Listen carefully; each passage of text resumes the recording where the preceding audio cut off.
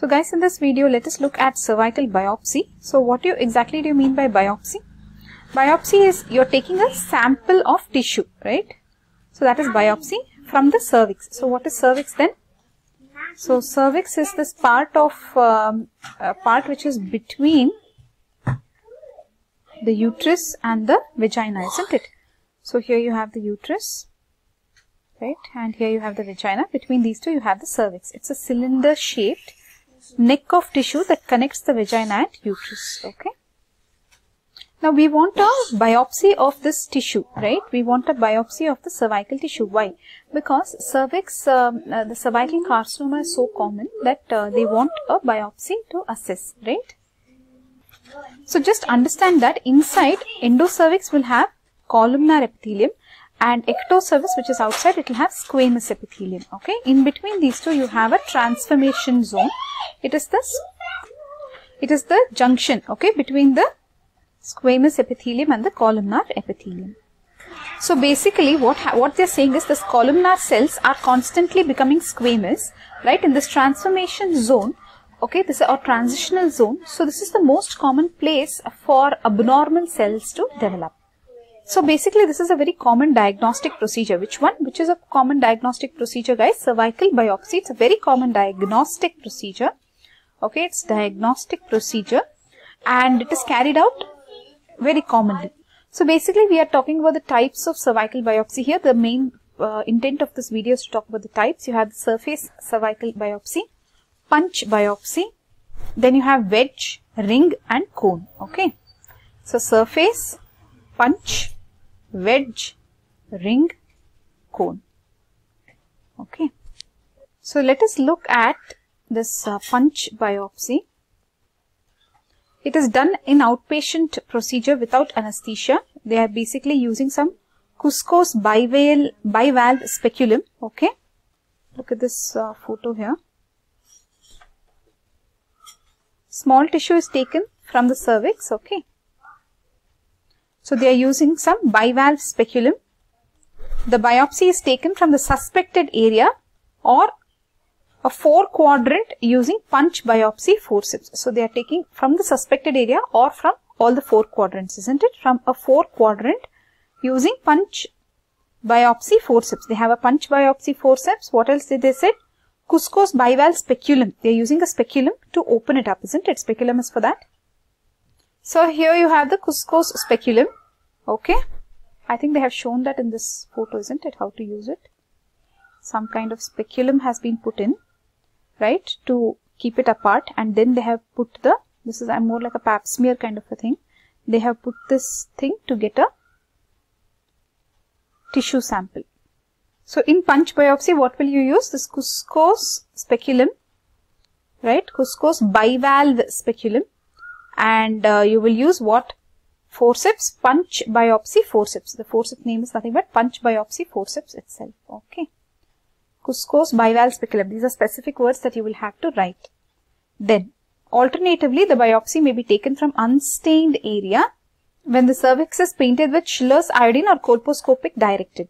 So basically, when you stain it and all that, whichever is unstained, from that part they are taking the biopsy alternate. Hemostasis is usually achieved by pressure with a gauze piece. So that means to say that once they do this, to stop the bleeding, they may uh, put pressure with a gauze piece. So achieve he hemostasis. Okay. To stop the bleeding, something like that. So we are done with punch. Now let us move to wedge biopsy. So guys, what are we looking at today? Today we are looking at cervical biopsy, the types right? So the options available surface, punch, wedge, ring, cone. So punch we just now saw, you will use this Cusco's speculum, uh, Cusco's bivalve speculum and punch biopsy um, forceps, right? Now we will move to wedge. Okay. So wedge biopsy is done with definitive growth when definitive growth is visible. So you have seen definite growth, it is visible Oh my god. So the growth is actually visible here. Right. Necrotic area should be avoided. An area near the edge is the ideal site. So I'm thinking that if this is the cervix, and there is a definite growth, the edge is the ideal site, right, to take the biopsy. The necrotic area you'll actually avoid. Okay, that's what looks like. Some other points here. Posterior vaginal speculum is introduced. These are the steps, isn't it? Posterior vaginal speculum is introduced. Yes, uh, focus here if you are uh, sleeping. Anterior and posterior lip of cervix is to be held by Allis forceps. Then, with a scalpel, a wedge of tissue is cut from the edge of the lesion, including adjacent healthy tissue for comparative histological study. So, some uh, with this uh, problematic tissue, they are also trying to take a small piece of healthy tissue also to compare. Okay. Then how will you achieve hemostasis in this? By gauze packing or by sutures. So sutures. Okay, they'll planning to suture it also to achieve hemostasis. So either by gauze packing or sutures. So basically, so basically this is wedge biopsy. Definite growth if it is there, then what they will do? They will avoid the necrotic area, but from the edge they will try to pick up the tissue sample they will use, have to always use a speculum. So, posterior vaginal speculum, they're talking about a posterior vaginal speculum. Then anterior and posterior lip of cervix is to be, is to be held by Allis forceps. So, here you have the Allis forceps. Okay, you will hold it. With a scalpel, a wedge of tissue is cut. So, how are they taking the tissue here? With a scalpel. Okay. So, Allis forceps, you're just using to hold the anterior or posterior lip of the cervix. So these are all the tools. A speculum you need, Allis forceps, but actual wedge of tissue is cut. How? With the help of a scalpel. You know what a scalpel is, right? Definitely you know because you have already used all this in dissection. Okay. Then you will take slight uh, adjacent tissue also healthy tissue for comparison. Hemostasis, you'll have see same thing, pressure by gauze piece or here you can also use sutures because you're using a scalpel, so sutures can be necessary. So what are we done with now? So guys, where are we? We have looked at uh, in cervical biopsy the types. So surface, not much explained. Then you have punch biopsy. Then you have wedge. Next we have to move on to what? Ring and lastly cone biopsy, right? Okay, let's move on. So ring biopsy of what? Of the cervix. Whole of the squamocolumnar area of the cervix is excised with a special knife. So they are talking about some special knife here. And they seem to be talking about whole of the squamocolumnar area. The tissue is subjected to serial section, okay, to detect CIN or early invasive carcinoma. This this is almost replaced by directed biopsy, either Schiller or colposcopy. So this is not done anymore. That's what we have understood. It is almost replaced. This technique they are not using. So it is replaced now. So basically here they were taking the entire squamocolumnar area. The tissue they were uh, checking for what? They can detect CIN or early invasive carcinoma. Invasive is bad, isn't it? What is CIN? Cervical intraepithelial neoplasm. So this is what the entire discussion is about, isn't it?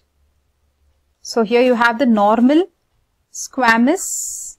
Here they are showing you CIN 1, 2, 3. Till here they didn't call it invasive. And then it became, then it became invasive. Guys, let us look at what the Schiller's test is, okay? So basically it is Schiller's iodine test, etc. When the iodine solution is applied to cervix, you can um, diagnose cervical cancer. Okay. So it is applied to cervix under direct vision. Normal cervical mucosa um, stains brown. Abnormal areas, they don't take up the stain. See, that is the main thing. That is why even in biopsy, they were telling that if it is not taking up stain, you should uh, do the biopsy of that area because abnormal tissue does not take up the stain. The other thing they are saying which has replaced all this technology now is colposcopy. Let's look at that also here. So basically colposcopy, what are they saying?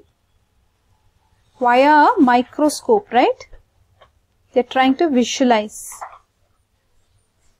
A colposcope they are using. Okay, so you want to examine the cervix, vagina and vulva for signs of disease, right? So you will use a special instrument called colposcope. So our intention was to do what? To learn ring biopsy. So ring biopsy, you'll use one special knife and cut off whatever you want and check. Okay. Now it is not used. Next, lastly, we are going to cone biopsy. Conization. This is an important thing that you should know. So basically, cone biopsy, what they're doing, you can see here. Cone, they're cutting out a cone, right? Conization. So let's look at this. This is uh, has a lot of uh, information. The operation involves removal, removal of cone of cervix. So you will include the entire squamocolumnar junction, stroma with glands and endocervical mucous membrane. When do you actually do a cone biopsy? When uh, uh, as a diagnostic thing you will do, right? That you want to diagnose what type of uh, neoplasm it is or in case you want to remove it because you want to cure the person, that is also possible. So, therapeutic purpose in CIN, okay. So, cases of CIN suitable, which are suitable. So, the indications of diagnostic conization, they are telling here if a colposcope is available and why would you do it even if a colpos colposcope is available and if colposcope is not available then why will you do it if there is an abnormal pap smear right and uh, with healthy cervix positive diagnosis of CIS to exclude invasive you want to make sure that it is not invasive. Biopsy report is inconsistent with cytological findings. So basically something is not clear. You're not sure. Okay? That is when you're using it. Here also they're telling the same thing. Unsatisfactory colposcopic findings inconsistent findings. Biopsy cannot rule out invasive cancer. Okay, just look at all the details of this. We, we are not giving you the entire details here. Next, moving on. Procedure, how will you use? How will you do? Cold knife, cold knife cone. Okay, there's something called as a cold knife cone. But currently they are using CO2 laser, carbon dioxide laser under, uh, which is used as a scalpel. So they are using laser to cut it off. Okay. But they will use a colposcope for guidance. Okay. So look at this. So they are, this is a cold knife, isn't it? Cold cone biopsy. So cold knife cone. But now, now what are they preferring? Laser. So always there will be something better. So let us look at the laser part of it. So advantages of laser over cold knife conization. Guys, are you focusing? How is it going? Are you able to focus and understand what are we actually looking at. We're looking at cone biopsy, conization. Okay. So here they're talking about laser. Okay, over cold knife. So we are talking about laser. So laser always is less tissue damage, less blood loss, right? You can do it as outpatient under local anesthesia. Post-operative pain will be less. Discharge um, from uh, this part will be less. Regeneration, regeneration of epithelium will occur early. So you can almost, um, uh, all types of CIN can be treated. So they're, they're talking about treatment here. Fertility and pregnancy outcomes are not affected adversely. So that is good, right? For people who want to have a family.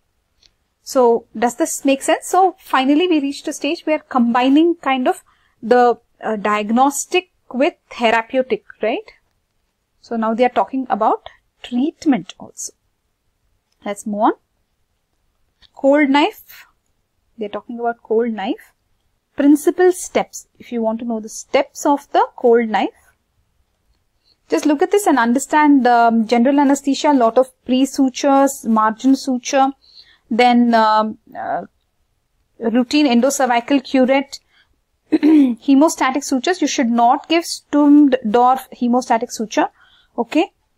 Finally, here they are telling that you will take the tissue and send it for histological examination, right?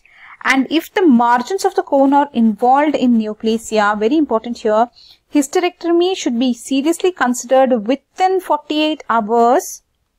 Wow. Or at a later date, 6 weeks to avoid infection. So either within 48 hours or 6 weeks at 6 weeks, isn't it? So within 48 hours, this person may have to undergo hysterectomy. Interesting. Now let's move on to the complications of this cone biopsy. There can be secondary hemorrhage. You'll write almost for everything, right? Hemorrhage. Then cervical stenosis, which can lead to hematometra, that is blood in uterus, isn't it? That is collection or retention of blood in the uterus. And infertility, the person can become infertile, diminished cervical mucus, cervical incompetence leading to recurrent miscarriage. So that would be another thing for infertility or what? Mid-trimester abortion or preterm labor. So almost these things are all like related to pregnancy, isn't it?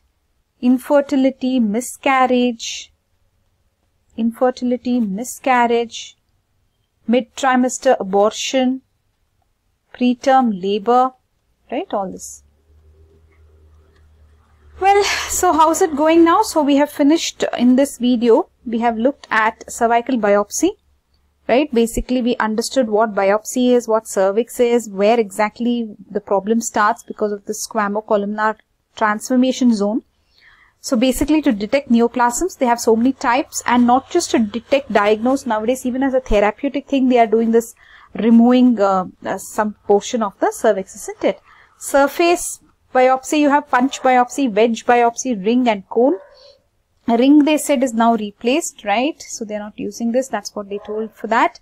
Then punch biopsy, Cusco's bivalve speculum, punch biopsy forceps Wedge biopsy, we saw if definite growth is visible, you will use some speculum and then Allis forceps, then a scalpel you will use and remove this thing in a wedge shape.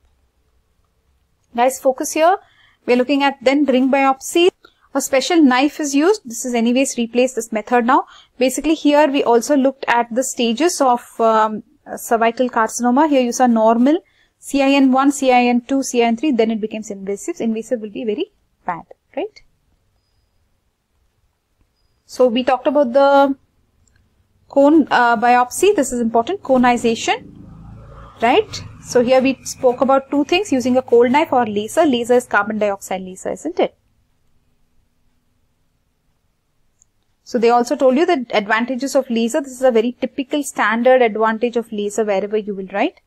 Then procedure of uh, the steps, the steps in cold knife procedure we have seen. Complications, hemorrhage, hematometra, then infertility, miscarriage, abortion, preterm labor, diminished cervical mucus. mucus okay. So that's all for now we have seen in um, cervical biopsy guys. Hope you have learned something from this video. Bye bye.